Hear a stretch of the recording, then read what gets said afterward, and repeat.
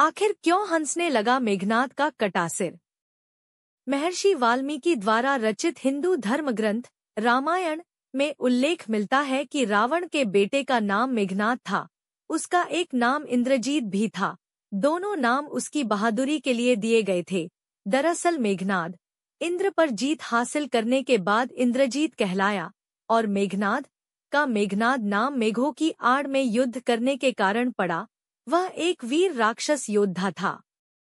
मेघनाद, श्रीराम और लक्ष्मण को मारना चाहता था। एक युद्ध के दौरान उसने सारे प्रयत्न किए लेकिन वह विफल रहा। इसी युद्ध में लक्ष्मण के घातक बाणों से मेघनाद मारा गया। लक्ष्मण जी ने मेघनाद का सिर उसके शरीर से अलग कर दिया। उसका सिर श्रीराम के आगे रखा गया। उसे वानर और रीछ देखने लगे। तब श्रीराम ने कहा, इसके सिर को संभाल कर रखो। दरअसल, श्रीराम मेघनाथ की मृत्यु की सूचना मेघनाथ की पत्नी सुलोचना को देना चाहते थे। उन्होंने मेघनाथ की एक भुजा को बाण के द्वारा मेघनाथ के महल में पहुँचा दिया। वह भुजा जब मेघनाथ की पत्नी सुलोचना ने देखी तो उसे विश्वास नहीं हुआ कि उसके पति की मृत्यु हो चुकी है। उसने भुजा से कहा, अगर तुम वास्तव में मेघनाथ की भुजा हो तो मेरी दुविधा को लिखकर दूर करो। सुलोचना का इतना कहते ही भुजा हरकत करने लगी। तब एक सेविका ने उस भुजा को खड़िया लाकर हाथ में रख दी। उस कटे हुए हाथ ने आँगन में लक्ष्मण जी के प्रशंसा के शब्द लिख दिए। अब सुलोचना को विश्वास हो गया कि युद्ध में उसका पति मारा गया है। सुलोचना इस समाचार को सुनकर रोने लगी। फिर वह रथ में बैठकर रावण से मिलने चल पड़ी।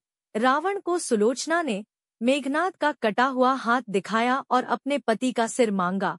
सुलोचना रावण से बोली कि अब मैं एक पल भी जीवित नहीं रहना चाहती, मैं पति के साथ ही सती होना चाहती हूँ। तब रावण ने कहा, पुत्री चार घड़ी प्रतीक्षा करो, मैं मेघनाथ का सिर शत्रु के सिर के साथ लेकर आता हूँ। लेकिन सुलोचना को रावण की बात पर विश्वास नहीं हुआ। तब सुलोचना मंदोदरी के पास गई। तब मंदोदरी ने कहा, तुम राम के पास जाओ। वह बहुत दयालु है। सुलोचना जब राम के पास पहुँची तो उसका परिचय विभीषण ने करवाया। सुलोचना ने राम से कहा, हे राम, मैं आपकी शरण में आई हूँ। मेरे पति का सिर मुझे लौटा दे, ताकि मैं सती हो सकूँ। राम सुलोचना की दशा देखकर दुखी हो गए। उन्होंने कहा कि मैं तुम्हारे पति को अभी जीवित कर देता हूँ। इस बीच उसने अपनी आप बीती भी सुनाई। सुलोचना ने कहा कि मैं नहीं चाहती कि मेरे पति जीवित होकर संसार के कष्टों को भोगे।